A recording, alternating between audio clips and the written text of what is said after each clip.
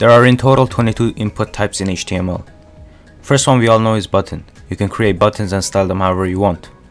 Second is checkbox. Give options to your users and let them check as many boxes as they want. Third is color. Let the user select any color they like. Fourth is date. Choose day, month, year. Fifth is datetime local. Let the user choose day, month, year, and as well as the time.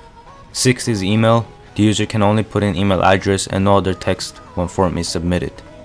Seventh is file. Let the user send files to your server, but make sure you have backend code so they don't actually send malicious files to your server. Eighth is hidden. This lets the developer to include data that the user cannot modify when form is submitted.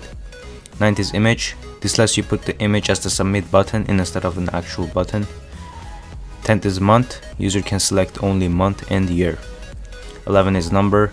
User can only insert number in the field and no text is allowed. 12 is password.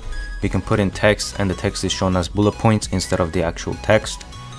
13 is radio. Let the user select only one option from the list of options. 14 is range. You can let the user adjust the bar and get a number value out of it.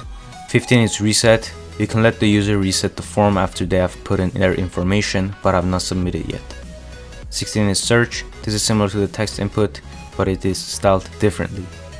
17 is submit. Submit lets you submit the form information to the server. 18 is tel.